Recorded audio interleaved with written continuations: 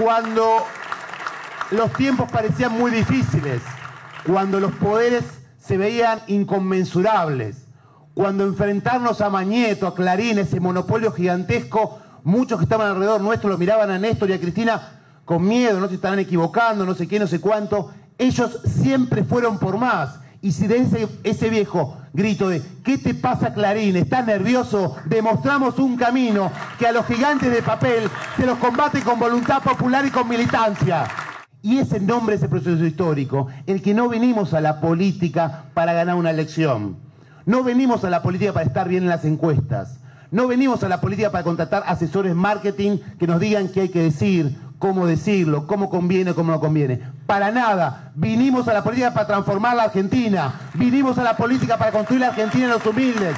Venimos a la política por la igualdad, por la justicia social, por la libertad. Para eso venimos a la política. Cuando ese personaje menor tuvo el voto no positivo, con muchos otros, que algunos se arrepienten ahora, por suerte, está bien, qué bueno, ojalá hubieran pensado un poquito antes lo que hacían, pero bueno, cuando muchos habían entrado con nuestras listas, que habían entrado en listas para bancar este proyecto, nos traicionaban y votaban en contra, en ese momento fue nada más y nada menos cuando Néstor y cuando Cristina fueron por recuperar los ahorros de los jubilados y volvimos a estatizar los ahorros de todos los argentinos.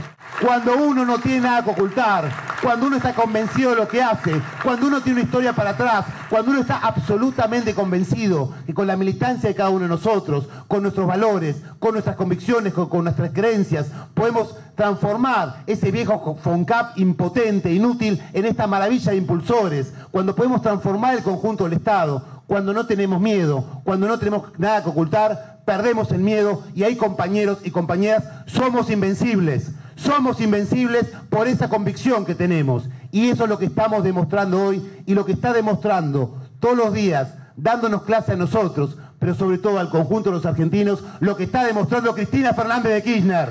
Se puede mentir infinidad de veces, se puede tapar con una tapa la realidad la cantidad de veces que uno quiera, pero como nos recuerda Cristina, cuando un argentino o una argentina abre la canilla y sale agua potable y nunca en su vida lo tuvo, eso es peronismo. Cuando un argentino sale a la calle y donde había tierra hay pavimento, eso es, eso es Argentina. Cuando un argentino que nunca cobró tiene la asignación por hijo, eso es Argentina.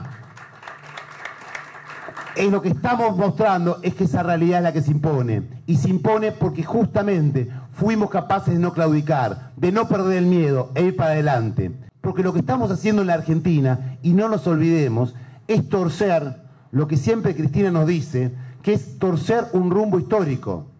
Tuvimos entre los años 40 y los 50 algunos años felices, ¿o no? Y todos ah, nos recordaban, nos contaban nuestros padres, nuestros abuelos, bueno, estuvo ese periodo. Después se perdió. Hoy lo que tenemos en antemano con este tercer mandato es la posibilidad de que este cambio de rumbo no sea una cuestión casual y que pueda volver para atrás. Tenemos la posibilidad de que este rumbo pueda definitivamente consolidar esta nueva Argentina. Porque ese país que estamos construyendo, ese país que tanto soñamos, ese país que ahora vemos mucho más cerca, ese país de la igualdad, ese país de la justicia, está la, está a la vuelta de la esquina. Depende de nosotros que con estas ganas, con este esfuerzo, con estas pilas, con esta energía, podamos darle más rumbo, con más fuerza y construir el 23 de octubre y más para adelante esa gran Argentina que tanto estamos construyendo. Con fuerza, con ganas. Los felicito a todos y vamos que el camino del pueblo es el siguiente. Por Néstor, por Cristina, por los 30.000 compañeros desaparecidos y por cada uno de ustedes, vamos a ganar, vamos por la historia y vamos para adelante. Muchísimas gracias compañeros.